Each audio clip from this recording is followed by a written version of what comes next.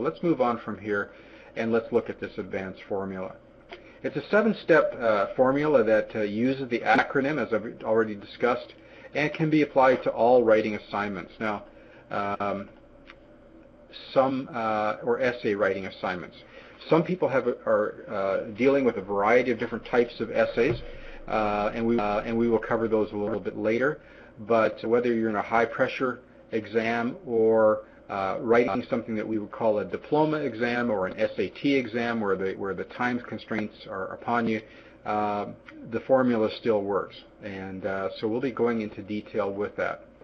Now here we go. The first A, the first A is called Analyze the Assignment. Now, uh, we have uh, made this the first A because, quite frankly, uh, it's a huge frustration to have to deal with assignments that do not answer the question as it was asked.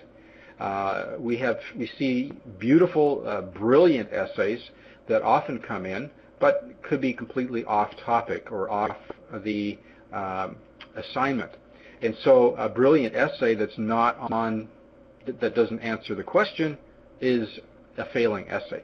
It did not accomplish what we wanted it to accomplish. So here's what we want to start off with doing, and that is we want to look for the keywords in the question. The question. The key words uh, in every one of these questions, and we're going to actually look at some examples here on the screen in a moment. But these keywords should trigger for you uh, something that we call, and we'll, we'll, talk a lot about this, about topics, T-O-P, topics. We want you to be thinking topics. So when you're thinking keywords, you're going to be thinking about topics. Now, why is that important? It's important because when we think keywords and think topics, what we're going to learn is that every paragraph should be about one topic. If you've got another topic, that should be another paragraph.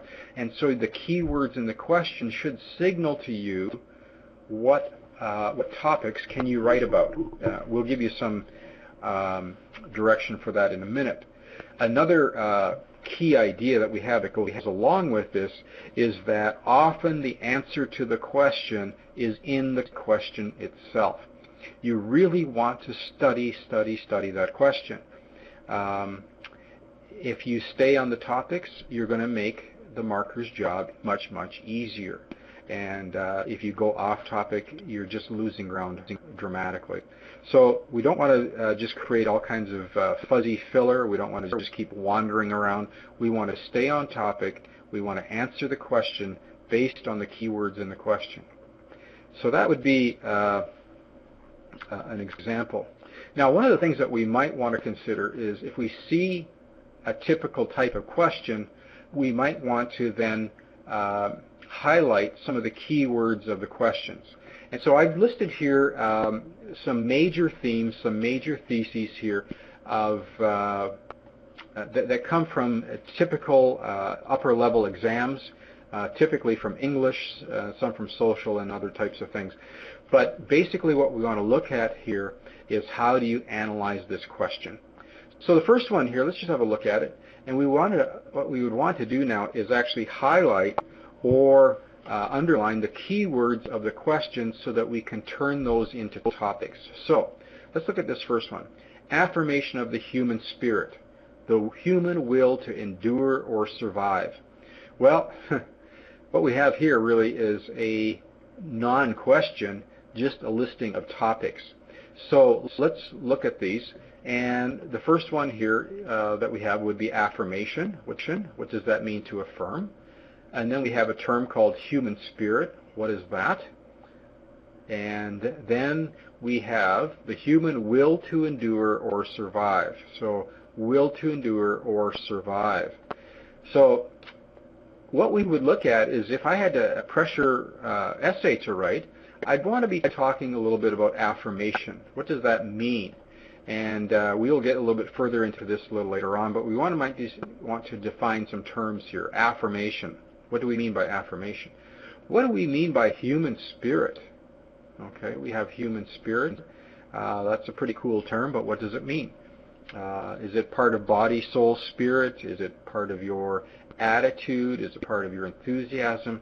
Here, what, here's what you want to do. You want to define your terms so that the reader knows what it is that you mean by these, term, these terms, not by what uh, they might think it means, because you are writing your essay. Now, uh, the human will to endure. So what is there about our will? So we have will, and what is the human will? Uh, do we have even something called free will, or are we all pawns of fate? Uh, and then what is it in us that compels us want to want to endure? And endure would be a long-standing term, or survive just to get by so we don't die. so uh, th there's not a question here. It's just a listing of topics. But often they want to throw something at you like this just to see if uh, you can pick out those major themes. And you could write paragraph one on affirmation, paragraph two on human spirit. You could talk about the will, and you can talk about enduring, surviving. So you've got four or five possible topics here to talk about.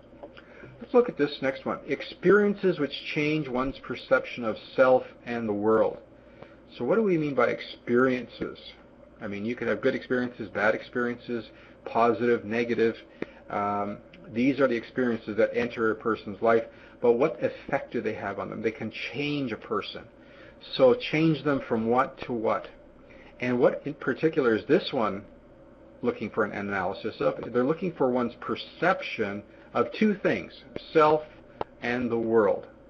So do, do, the experiences I have change the perception I have of myself? Well, that could be a whole paragraph there.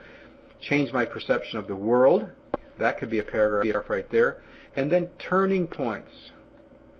What happens when something dramatic comes into our lives and it's a revolutionary uh, change of viewpoint? Um, how does that affect us? And then limitations. How are we limited by our experiences? And maybe somebody says, well, I've always been poor, so I can only ever be poor in the future. I've only been this and I've only been that, so that's all I can be in the future. That's kind of self-limiting beliefs. So those would be some things that we could look at in that type of an essay. Now, this one is uh, amazing here, and this one's quite a, a common one. Choices and how we make them. Okay, what goes into making our choices? Well, we have several key words here.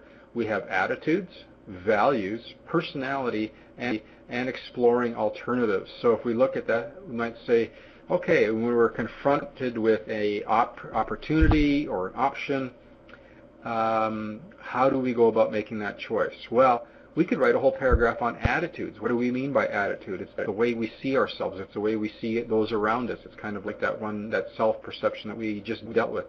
It could be um, your internal belief system that just uh, makes you believe or feel the way that you feel.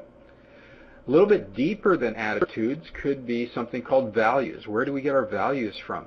Uh, do we have deep, deep-seated values, or are we like fish that just float down a stream that have no, uh, uh, no internal compass, no compass, no, uh, nothing inside that makes us uh, uh, weigh one option as being better or worse than another?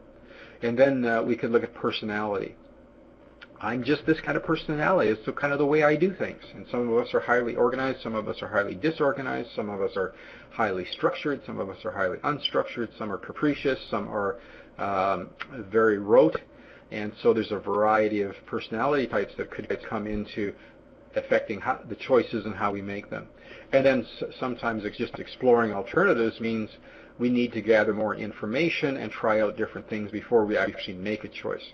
So uh, my point here is, as we're looking at some of these things, we might want to be looking at um, the key words. And every one of these is just loaded with key words. Um,